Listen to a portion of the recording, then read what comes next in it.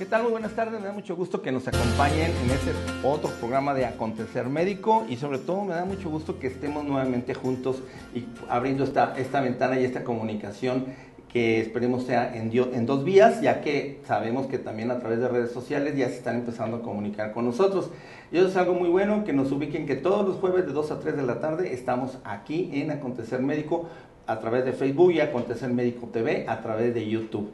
Estamos en este momento en vivo y es muy importante también su opinión, así que también va a aparecer un teléfono donde a través de WhatsApp nos, pueden estar haciendo preguntas, comentarios o inclusive sugiriendo temas.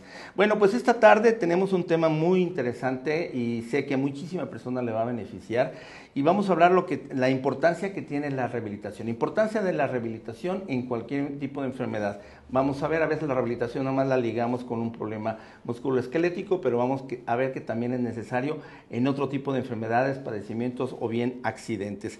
Tenemos un invitado de lujo el día de hoy y es justamente el doctor José de Jesús González Jaime, pero antes de presentarlo quisiera que vieran este video.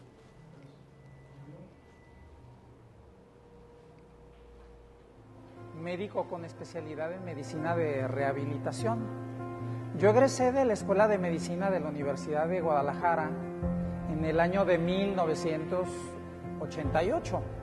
Posteriormente eh, fui a la Ciudad de México, que era el único lugar donde podía cursarse la especialidad en medicina de rehabilitación y que es lo que yo quería estudiar.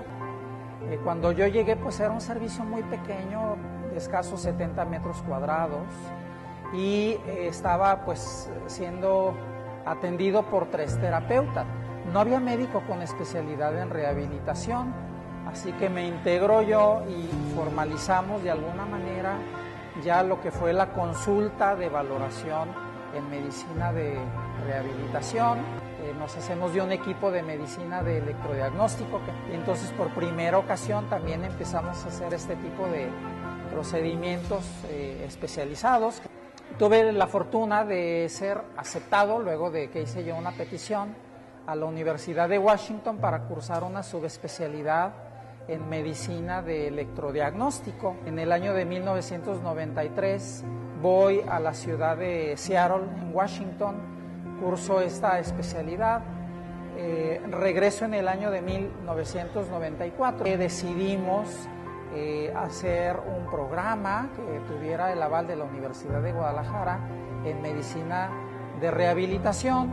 Logramos el dictamen en el año de 1995, sin embargo, esta eh, serie de trámites nos llevaron tres años y fue entonces que en el año de 1998 logramos que se integrara nuestra primer eh, residente formalmente en el programa, que fue la doctora Rosalba Rábago Cervantes. Y bueno, pues de ahí en adelante hemos continuado con este proceso recibiendo residentes, eh, varios años eh, nada más uno, posteriormente ya nos subieron a dos y eventualmente a tres y ahí nos quedamos en promedio. Hoy en día eh, hemos ya egresado 20 médicos, perdón, quiero decir 20 generaciones de nuestra especialidad y tenemos ya 46 médicos especialistas egresados de nuestro programa. Desde el año de 2010 se incluyera el Padrón Nacional de Posgrados de Calidad de CONACYT. El, área que nosotros teníamos era pequeña, modesta, le faltaba equipo, ¿verdad? Y pues bueno, sí sentíamos que eh, podíamos hacer las cosas mejor y que nuestros pacientes pues requerían obviamente de mejores espacios y mejor equipamiento para que pues, el servicio se construyera nuevo justamente en la planta baja de, la torre de eh, consulta externa de especialidades del Hospital Civil de Guadalajara y que es el área donde hoy nos encontramos. Bien, estamos de regreso. Bueno, pues eh, todo un personaje y la verdad es este, admirable toda su trayectoria y además un orgullo que esta tarde esté con nosotros el doctor José Jesús González Jaime, un buen amigo, un maestrazo y bueno, líder en lo que es la medicina de rehabilitación en México. Bienvenido, doctor. Muchísimas gracias, estimado doctor Ricardo, qué gusto estar con ustedes esta tarde. Mira, un muchísimo gusto, pero aparte de esto, en un momento bien especial, porque obviamente eh, acabamos de transmitir el video que justamente esta semana te acaban de hacer un, un homenaje este, fue esta semana o la pasada, no recuerdo, pero bueno. Fue el viernes de la semana. Sí, ¿verdad? Van a ser ocho días. Ajá. Pero lo interesante del asunto es que en un momento crucial, pienso yo, porque bueno, pues estás a, nada ya de, jubilarte, etcétera. Pero este reconocimiento que te hizo el Hospital Civil junto con todos los directivos y, todas las autoridades, eh, pues ¿Qué, es para ti esto? ¿Qué, es para ti esto? Como la cereza en el pastel. Híjole, pues mira, eh, estimado Ricardo, como yo lo expresé, pues eh, inmerecido, yo diría, puesto que no he hecho otra cosa que cumplir con mi deber. Claro. Literalmente en estos años que me han dado la oportunidad de, de ser colaborador del Hospital Civil de Guadalajara y que pues desde el primer día que pisamos eh, ese edificio, pues nos contagiamos, ¿no? De la filosofía de nuestro fundador, Fray Antonio Alcalde, que pues ha, trascendido tanto a nivel regional y nacional e internacional por su obra. Entonces, bueno, pues yo dije, ¿qué puede hacer José de Jesús González Jaime en ese lapso que pues tenga la oportunidad de eh, permanecer en ese lugar, pues para de alguna manera poner mi granito de arena, ¿no? Vaya que Entonces, eh, yo estaba llegando de la Ciudad de México en el año de 1991 como especialista en medicina de rehabilitación en el Hospital Civil, pues había ahí unos cuartitos dedicados a la rehabilitación que se hacía, pues yo diría que con mucho amor y mucho corazón, pero pues quizás con poco de técnica, poco de formalidad, poco de nivel de especialización. Y entonces, pues bueno, fue que eso eh, detonó que de alguna manera, pues yo decidiera, de alguna manera, como te comento, pues eh, irme en esa, en esa línea pues de, apoyo a la institución, y obviamente a sus pacientes. No, y también lo, académico, ¿no? Porque tengo entendido que cuántas generaciones decían que has este, tú ya, eh, digamos, eh, eh, apoyado y educado y que han salido pues a la, a la, a la, sociedad, vaya, ¿no? Pues mira, sí, ciertamente, y parte de, pues digo, de lo que me, me ha movido fue el hecho de que cuando, pues tu servidor, que estaba en medicina y que ya tenía la definición vocacional hacia la medicina de rehabilitación, es decir, atender a las personas con discapacidad de cualquier tipo,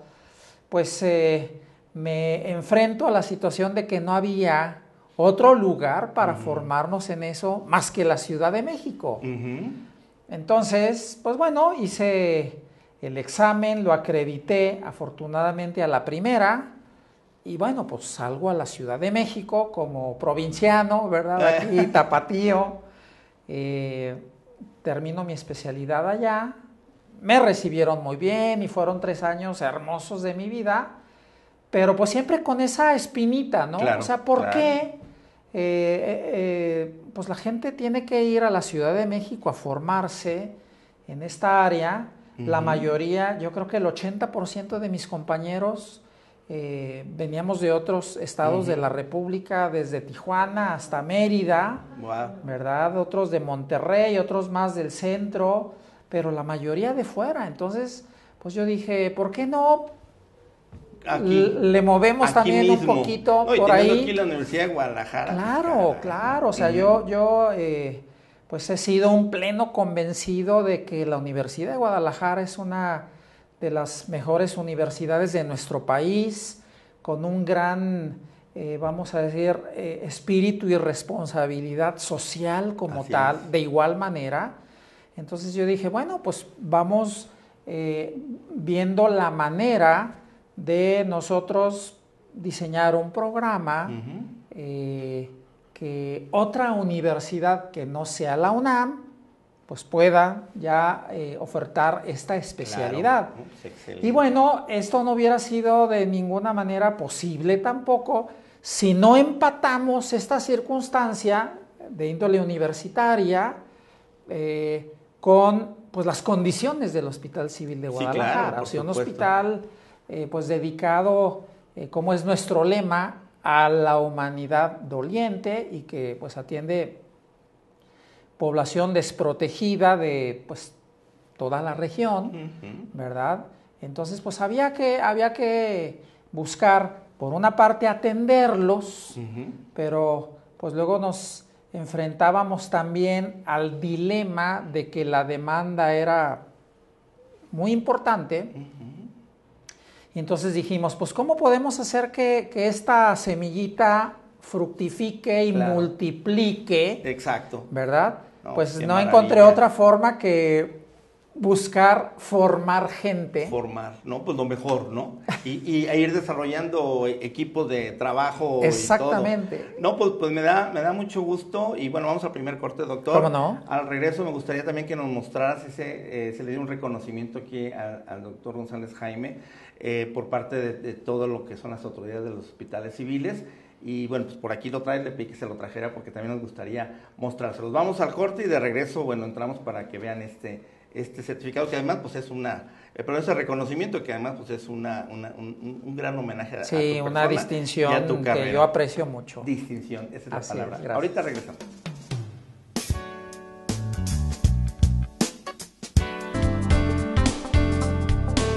Estamos de regreso. Este, bueno, como verán, es todo un personaje a nuestro invitado del día de hoy. Es especialista en medicina de rehabilitación en la UNAM, una maestría en gerencia de servicios de salud y algo que nos va a platicar más adelante es que también tiene una subespecialidad en medicina de electrodiagnóstico realizada en la Universidad de Washington en Seattle. Entonces, bueno, ahorita seguimos platicando con él, pero me gustaría que viéramos este, este gran, eh, dentro del homenaje, este reconocimiento que te da los hospitales civiles eh, a través precisamente de, todas sus autoridades, este, una cosa padrísima también, eh, una foto que se, hubo ahí este, colectiva ahí, increíble de muchos de, los alumnos, de los egresados. Estuvo, la verdad, muy, muy, muy, muy emocionante, la verdad creo yo que estuvo muy padre y muy merecido. Aunque tú dices que es inmerecido, creo que es muy merecido. Y además en una trayectoria así, pues qué bueno. Lo, lo que me da más gusto es que en lo privado vas a seguir trabajando, a pesar que llegues a la jubilación, ¿no? Entonces, este, listo, ah, ya, listo, doctor. Ya, ya, ya este, lo pudimos, este, proyectar y, presumir junto contigo. Gracias, gracias, Ricardo. Así, es. Y bueno, pues entrando un poquito más en materia, qué mejor tú que nos puedas este, mostrar y enseñar eh, que en sí qué es la medicina eh, en rehabilitación o el médico especialista en rehabilitación.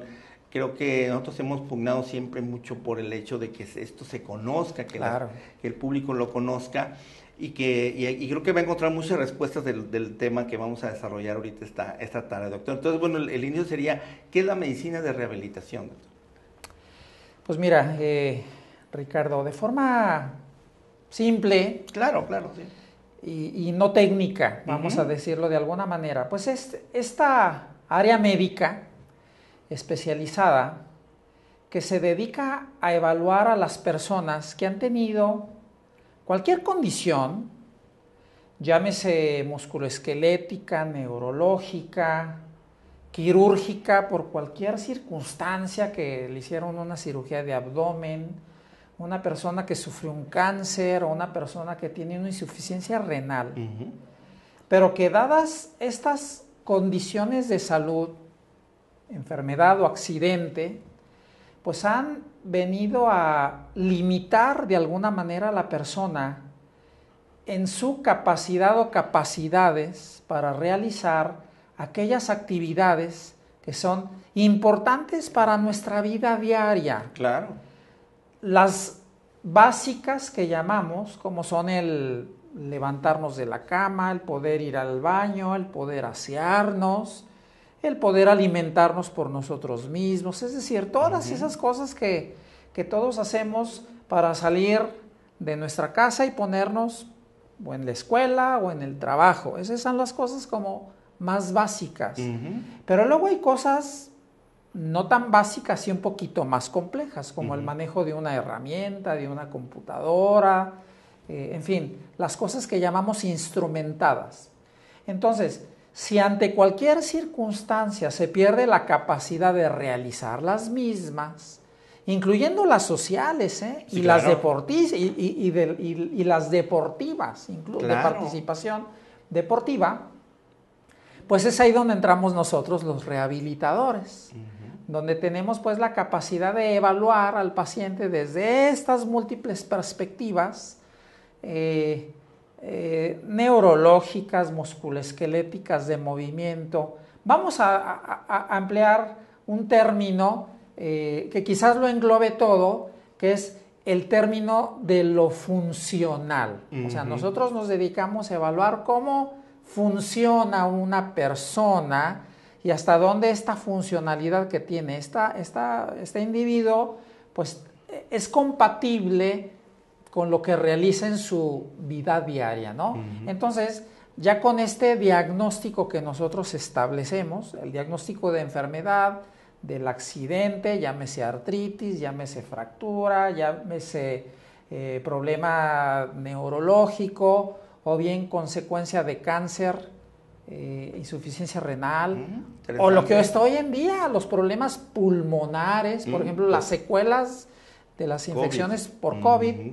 Entonces, nosotros, eh, obviamente con todo un equipo, eh, vamos a decir en términos de instrumental, de infraestructura, todo esto, pues nos dedicamos a diseñarle un programa hecho muy a la medida, como, como un, traje hecho por un sastre, para que esta persona con medicamentos, con actividades inducidas eh, y llevadas por el personal con que nosotros colaboramos, que es nuestro equipo de terapeutas, pues le ayuden a esta persona a ir minimizando pues estas limitaciones, estas deficiencias, para que pues recuperen esa independencia y esa capacidad de realizar lo que es básico para la vida de, de todos eh, como es el trabajar o levantarnos para ir a correr, ir a jugar tenis, fútbol, lo que cada quien pues disfruta de la vida. Así es. Eso es la rehabilitación. Yo diría que el concepto pues pues además es muy, y, creo que es una parte muy, muy humana, muy humanística, porque hay una, un regreso hacia una vida lo más normal posible, siempre con el objetivo de que sea al 100% normal, por supuesto, pero además también es esperanza para muchas personas, ¿no? O sea, em, por ejemplo, hay, muchas personas que, dicen, me operaron de la rodilla, me operaron de la cadera y me operaron mal, me sigue doliendo, no me puedo levantar, me duele, me truena, etcétera, etcétera, o, bien la cadera. Entonces, eh, muchas personas no saben que el otro 50%, yo así lo veo, eh, después de una cirugía es la rehabilitación. Entonces, a lo mejor ahorita muchos de los que nos estén viendo pueden decir, pues con razón, yo nunca hice rehabilitación o no la hice por el tiempo adecuado o simplemente le faltó eh, algún otra, otro tipo de, terapia complementaria. Entonces, creo que aquí la medicina en rehabilitación eh, sigue siendo para algunos puede ser hasta un lujo, ¿no? Decir, pues, obviamente si es más inversión, decir, ya me operaron, ya esto, ahora aparte de eso tengo que pagar, no sé, X número de, terapias que me cuesta tanto, etcétera, más medicamentos, más eso. Entonces, creo que aquí en el, es importante que más, más que gasto, eh, que sea una inversión, ¿no? es una inversión. Sí, definitivamente. O sea, yo creo que si una persona tiene cuando menos la oportunidad de escuchar un buen consejo, nosotros decimos que esa persona pues ya lleva una gran ventaja, ¿no? Porque pues tú sabes que hay muchos tabús y muchas creencias de que una vez que me operaron pues me tengo que quedar en cama, no me voy a mover y entonces ¿qué sucede? Que lo que nosotros vemos y que bueno sabemos porque además están las evidencias médicas que lo demuestran, que esa inactividad pues eh, lejos de producir un, beneficio, se convierte en, un detrimento, ¿no? O sea, el no hacer nada eh, genera un deterioro. Entonces, cuando la gente cambia y un poquito ya el concepto de que si bien es importante que proteja la zona de la cirugía, mi cicatriz, mientras me quitan las puntadas y todo, pero siempre hay algo que hacer. Es decir, hay regiones del cuerpo que no están operadas y que si, el, si la persona se mantiene en un reposo absoluto, pues no nada más no va a mejorar esa cadera o esa rodilla, sino que va a tener deterioros y hasta complicaciones que luego van a costar más sacar adelante. Claro. Entonces yo creo que cuando menos las personas deben de acudir por una consulta, un buen consejo de rehabilitación y bueno, pues luego sí hacer un programa de rehabilitación. Eh, obviamente pues todo cuesta, ¿no? Los recursos, equipamiento, etcétera, pero eh, pues yo diría que es algo muy relativo, o sea, dicen que pues lo que, lo que cuesta y no sirve, pues entonces eso sí es un gasto, ¿no? Cierto. Pero lo que cuesta y funciona, pues esa es una inversión. Y, y, la rehabilitación definitivamente pues va a ayudar a que las personas estén más bien, más pronto y pues pronto puedan disfrutar. Tú lo decías hace, hace, unos momentos, en el sentido de que esa persona pues tiene aspiraciones nuevamente a, a volver a su trabajo o si no, a realizar alguna actividad que también le haga recuperar ese recurso y vaya simplemente a tener una calidad de vida y seguir activo, seguir con movilidad o, con la mejor capacidad que pueda tener para enfrentar la, la, vida diaria. Pero lo interesante del asunto es eso, que a veces eh, es este, hasta cultural decir, no me duele, no me muevo, y entonces se hace una, pues una bola de nieve, ¿no? En el sentido de que al rato ya, ya cuesta trabajo hasta tomar algo, la parte cerebral, este, entonces es, es como va generándose un, círculo vicioso que puede dañar otro, bueno, estreñimiento, este, en fin, múltiples situaciones que, que, la inactividad hace. Y al final, pues lo hemos visto, eh, a mí se me hace muy clásico el que, por ejemplo, le enyesan un brazo, y a la hora que le quitan el yeso está flaquito, flaquito el brazo, ¿no? Y es justamente porque hay esa pérdida de, tono muscular, ¿no?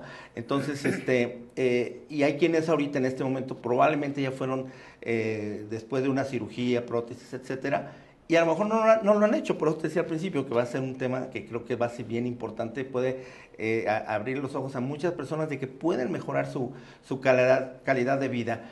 Aquí me gustaría también el tiempo. ¿En cuánto tiempo, por decir, alguna persona se operó? ¿En qué momento tiene que entrar a rehabilitación? ¿Y en cuánto tiempo se puede esperar que esa persona esté ya otra vez autosuficiente del 100%? Eh, tiempo para evaluar al paciente tan pronto como sea posible. Hoy en día, de hecho, nosotros promovemos lo que se llama la prehabilitación. Es decir, Estamos queriendo intervenir antes. Antes de la, de la antes, Antes de... Interesante. Es decir, eh, antes, ¿qué nos decían en la escuela? Que nos eh, enseñaban nuestros maestros de epidemiología y del famoso esquema de Libel y Clark y de los, eh, del horizonte clínico y que primero había que hacer promoción, prevención y luego venía el diagnóstico temprano y luego venía el tratamiento para la limitación del daño y hasta el final la rehabilitación. Exacto, sí. Entonces, pues nos dejaban pues ya pacientitos muy muy maltrechos, la verdad, ¿no? nos llegan ya semanas, meses después de que han tenido pues los embates de la enfermedad. Entonces, nosotros hoy decimos, si una persona eh, sabe que va a ser sometido a un evento, por ejemplo, el caso de, los, de, los, de la cirugía articular, pues difícilmente o habitualmente la cirugía articular es de urgencia, a menos que sea el caso de una fractura. Un accidente.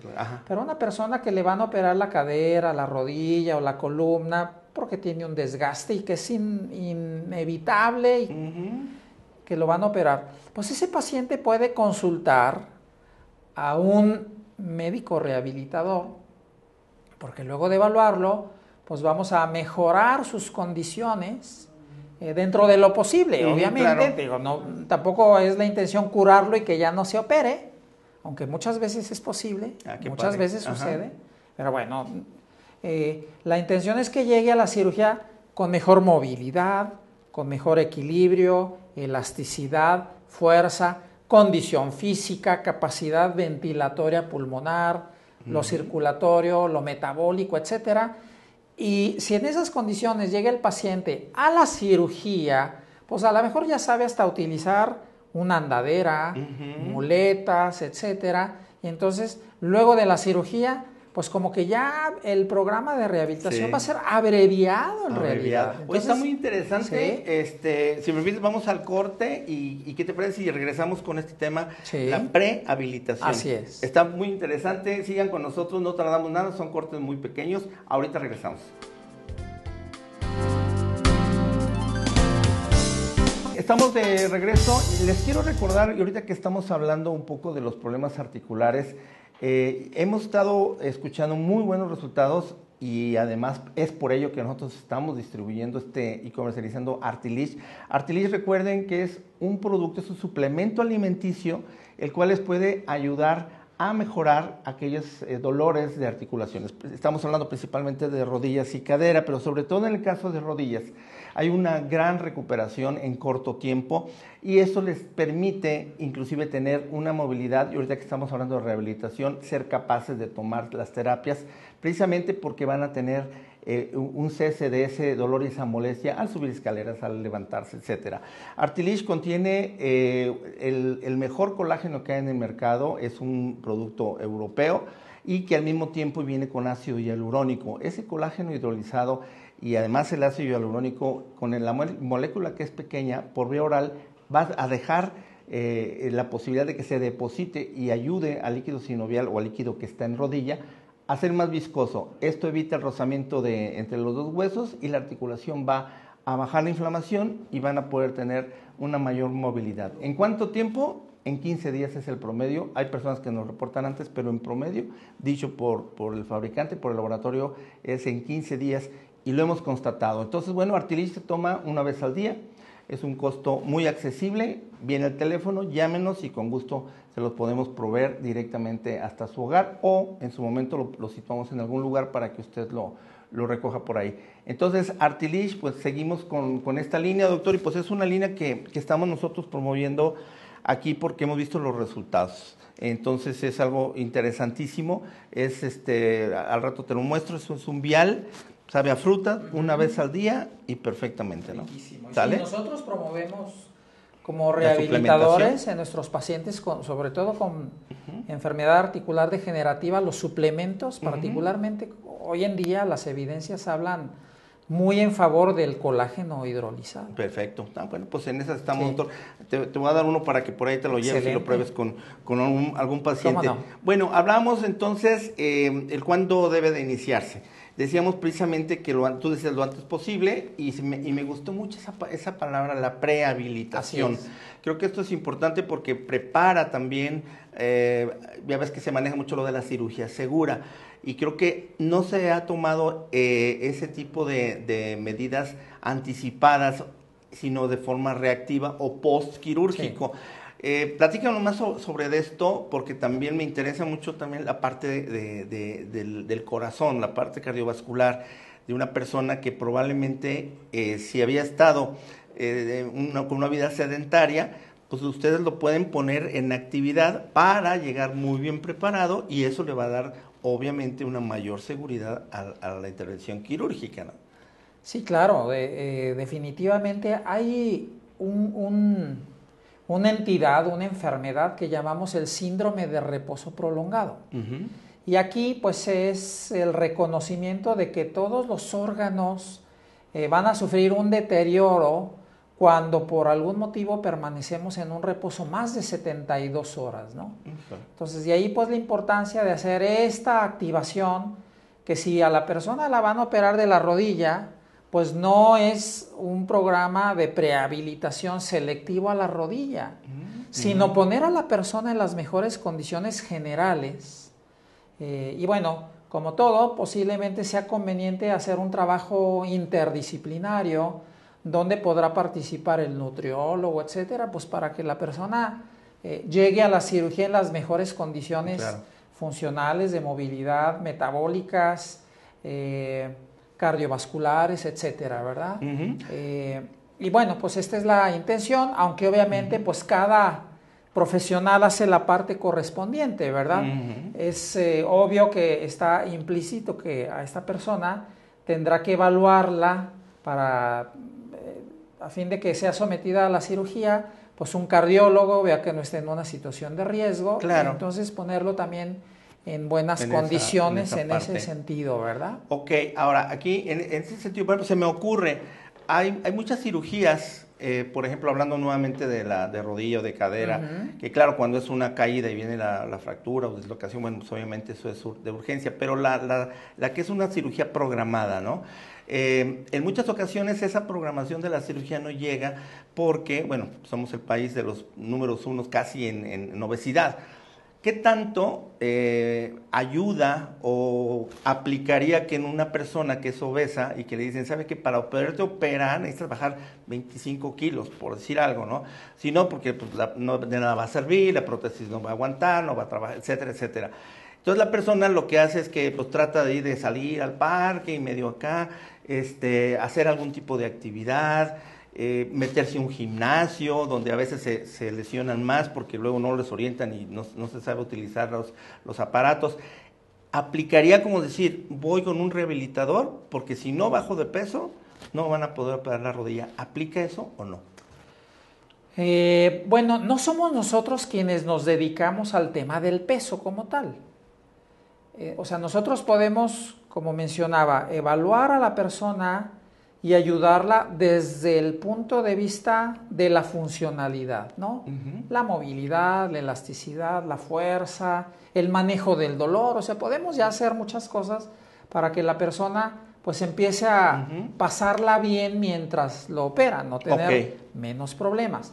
Pero bueno, si encontramos una persona en estas condiciones, pues definitivamente sí somos nosotros quienes tenemos la sensibilidad para recomendar en este caso al paciente con un nutriólogo, ¿no? Claro. O sea, yo creo que esto es una condición eh, obligada en cualquier médico independientemente de la especialidad, eh, pues simplemente por criterio, eh, criterio de buena práctica, ¿verdad? y por conveniencia, pues, primero del paciente y segundo de lo que pues nosotros vamos a hacer para que podamos y hablando hablando de la, de la, prehabilitación no que de cierta forma este y ya eh, entraríamos un poco con la rehabilitación que creo que es un poquito ya más claro ahorita después de esto pero a lo mejor insistiría un poco en lo de la prehabilitación en el sentido de que hay personas que probablemente a la hora que, que se se les verifica, se les hace una evaluación, que eso se me hace, o valoración que se me hace muy bueno,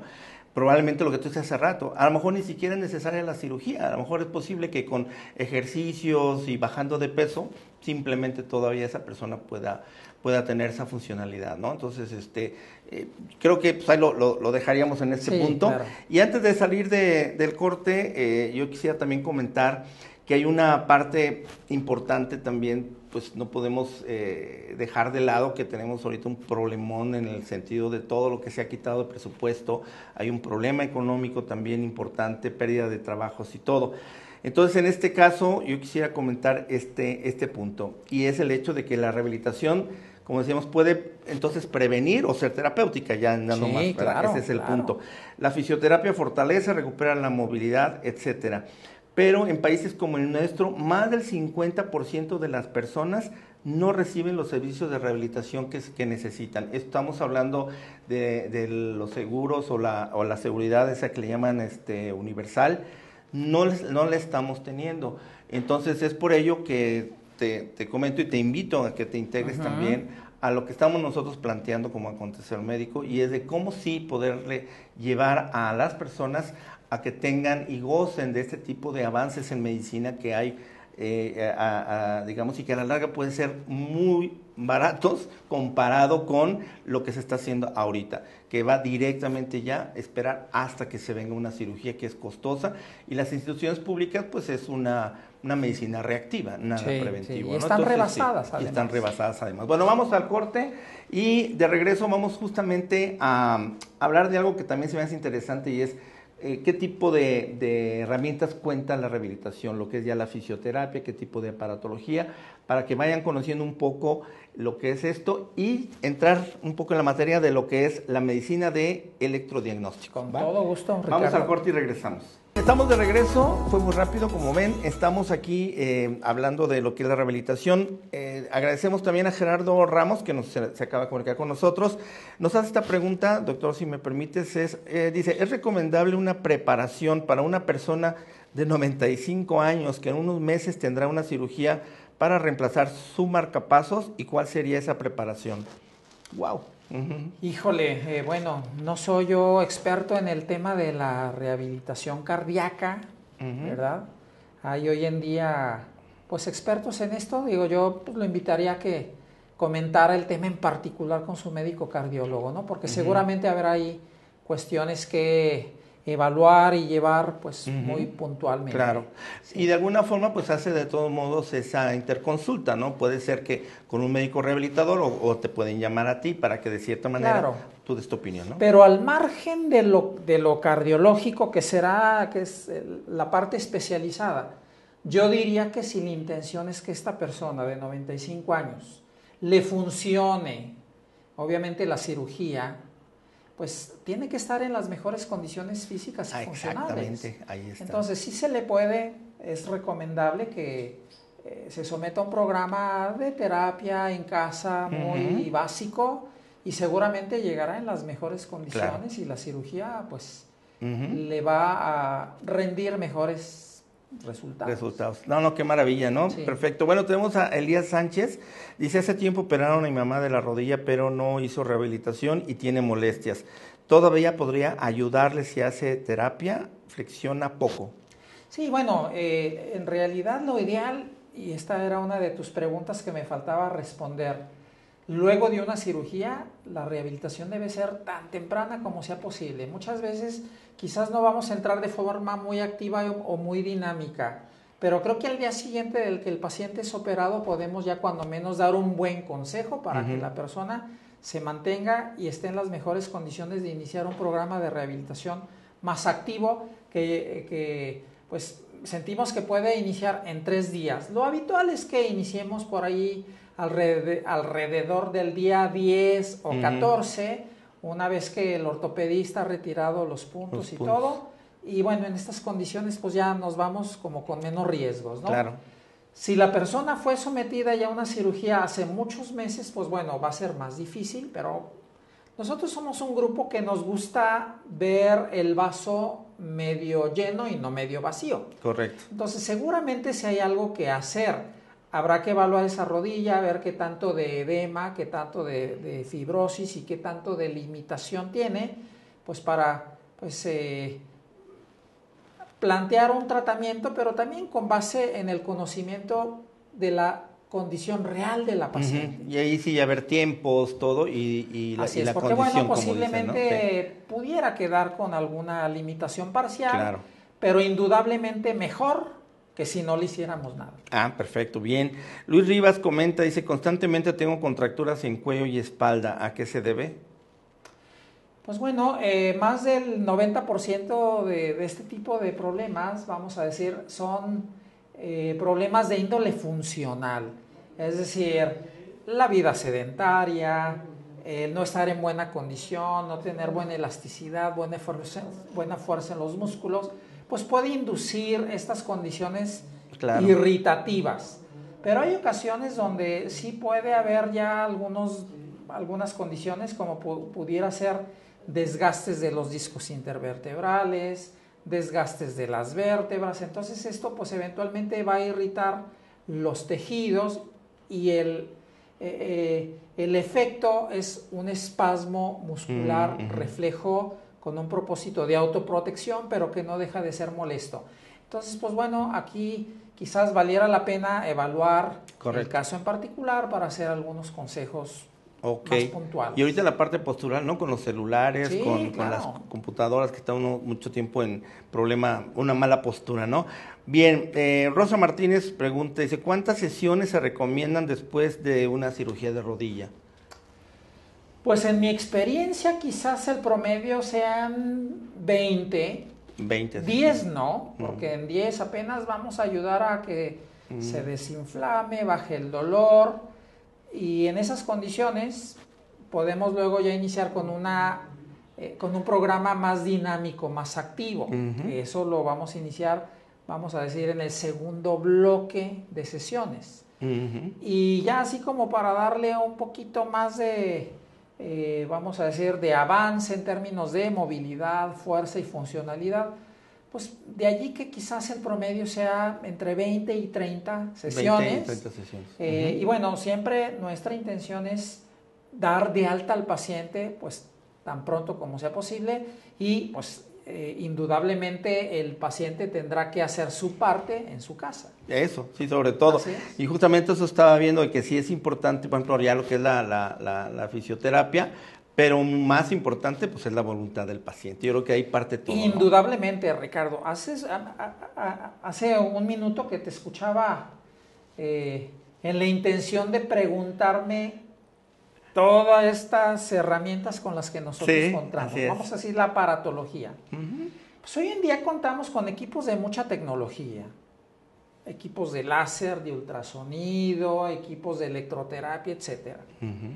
Pero lo más importante, al margen de que tenemos equipos de muy alto nivel de tecnología y costo, lo más importante es el criterio con el que se atiende un paciente. Exacto. En otras palabras, si una persona eh, recibe eh, el consejo de cómo descansar, de cómo estirar, cómo movilizarse, cómo hacer un masaje, cómo fortalecer, la verdad se está llevando la parte más valiosa de un programa de rehabilitación. Claro. indudablemente podemos usar eh, un, equipo de, un equipo de calor, un equipo de electroterapia, otro equipo de calor profundo, etcétera.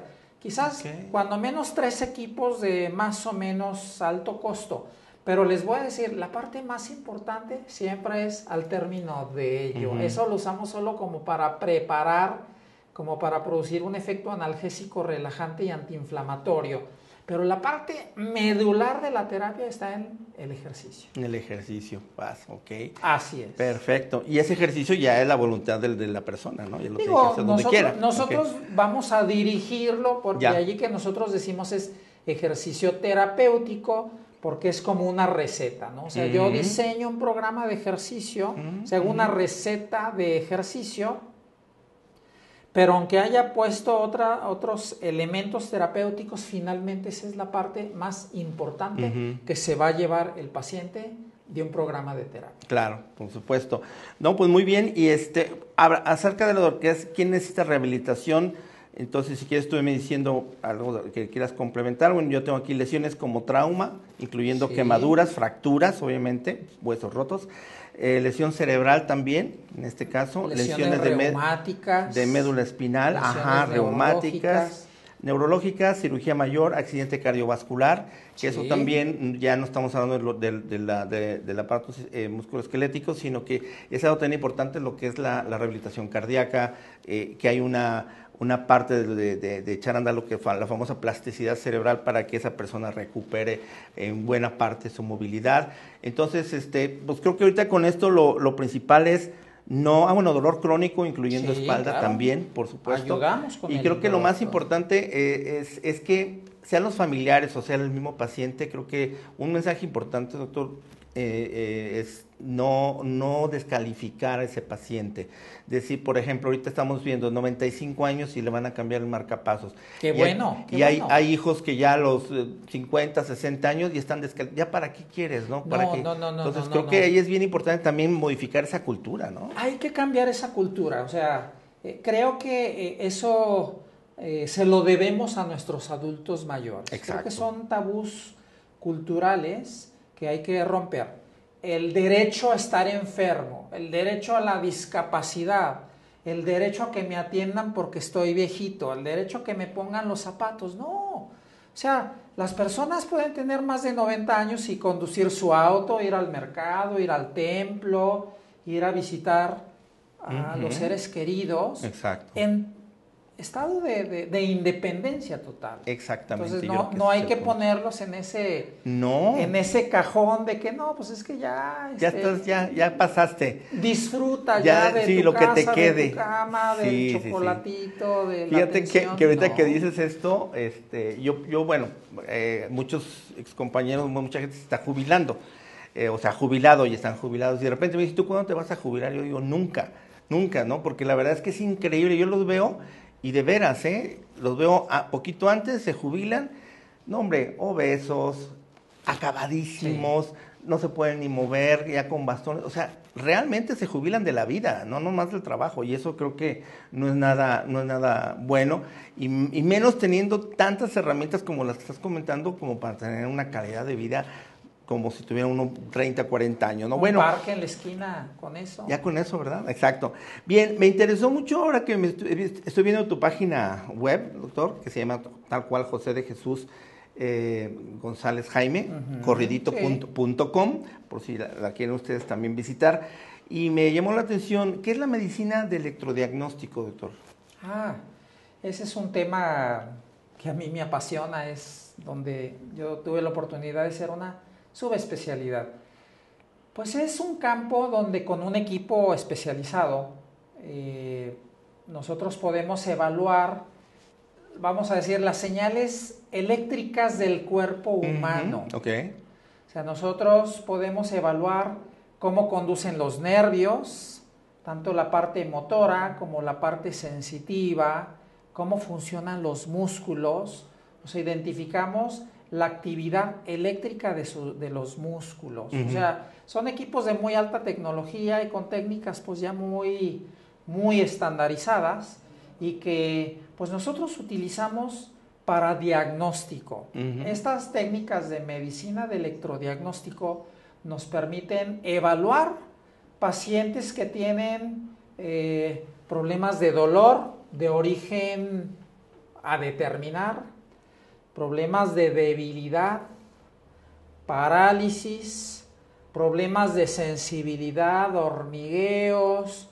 Eh, entonces, todo eso nosotros podemos ayudar a identificar las causas. Mm, Porque, pues, por ejemplo, si tengo un dolor en la mano, un adormecimiento del dedo, se me caen las cosas, pues creo que puede haber muchas posibilidades diagnósticas. Muy bien. Puede ser, por ejemplo, un pellizcamiento de una raíz en el cuello o puede ser un atrapamiento de un, de un, de un nervio en algún lugar de su trayecto.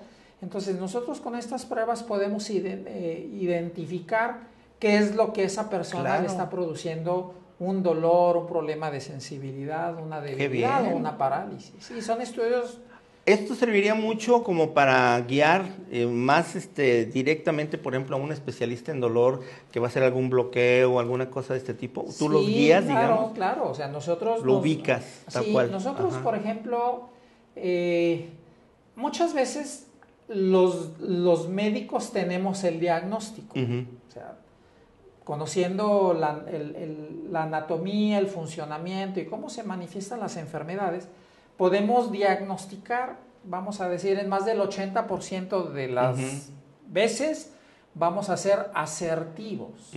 Sin embargo, pues bueno, un diagnóstico o, una enfermedad que ya diagnosticamos mm, tendrá diferentes calificativos que es importante definir, ¿no? O sea, por ejemplo, de, o sea, confirmar que de veras ese nervio está atrapado. Y luego, ¿en dónde está atrapado? Exacto. Y luego tres, el tipo de la afectación que está teniendo el nervio.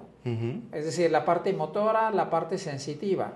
Y luego es una afectación en donde el nervio tiene nada más un problema funcional, un bloqueo, un problema totalmente reversible, pues estoy teniendo ya signos de que ese nervio se está degenerando. Okay.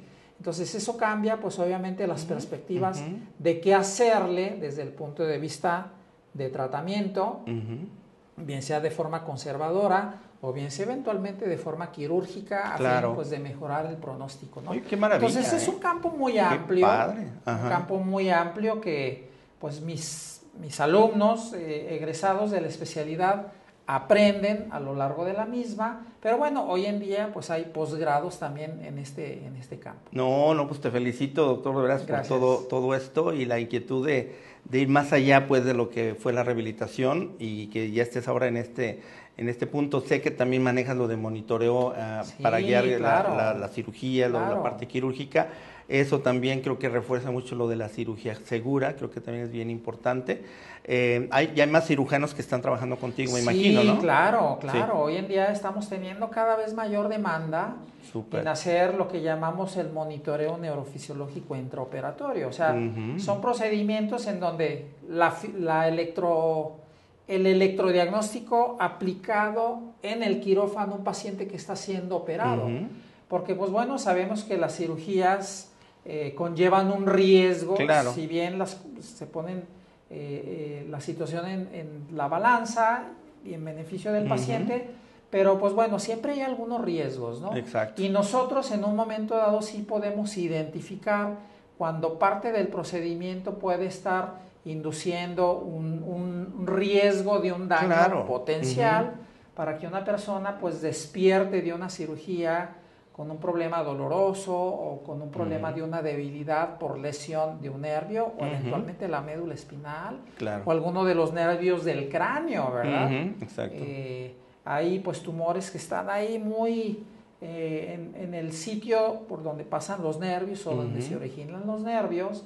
Entonces si hay mucho riesgo de que al retiro del tumor pues el nervio se lesione. Pero si empleamos estos, estos métodos, el cirujano cuando menos va a tener una información en tiempo real de que eso que está haciendo él está irritando un nervio y le da la oportunidad pues de hacer ahí algún ajuste en su cirugía para darle la vuelta al nervio, respetar el nervio y quitar el tumor sin daño. Y entonces indudablemente tenemos las posibilidades de que el paciente salga de la cirugía con los menos efectos. Sin un daño eh, colateral. Qué maravilla. así wow, ¿no? Pues está Por ejemplo, participamos y tenemos este programa también eh, en aquellos pacientes que tienen tumores cerebrales en el área dominante, en el área donde, pues vamos a decir, se codifican eh, el lenguaje, la comprensión, la lectura, pues nosotros podemos entrar con el cirujano, obviamente en un trabajo interdisciplinario muy, muy completo y muy, muy bonito, para ayudar al cirujano a identificar los sitios eh, que están involucrados en las funciones del lenguaje, de la comprensión, del cálculo, para que de igual manera le entre al tumor por un lado, Exacto, que el paciente salga sin tumor, pero con una funcionalidad pues prácticamente íntegra. No, es que, híjole, con eso se reducen todavía muchísimo más los efectos colaterales. Pues yo creo que está muy bien, doctor, y, pues te felicito nuevamente, mm, ya no por tu trayectoria, sino por todo lo que, lo que estás haciendo, lo que sigues haciendo, y pues agradecerte, me gusta mucho el que me estés diciendo que te integras a nuestro proyecto. Por supuesto, por Entonces, pues Padrísimo. Dime dónde le firmo y encantado. No se diga más, ya está, eh, lo hacemos lo más pronto posible. Bien, y pues agradecerte aquí, igual que esto también haya servido como un homenaje a tu trayectoria y pues esperemos que esto sigamos trabajando en conjunto, doctor. Como siempre, estimado Ricardo, un placer estar contigo. Mm, muchísimas gracias y a ustedes como siempre, pues gracias por acompañarnos dentro de ocho días, jueves 2 a 3 de la tarde en vivo con otro tema también aquí en Acontecer Médico. Su servidor Ricardo Ursúa, me despido de ustedes y les deseo una excelente tarde. Super. Ricardo.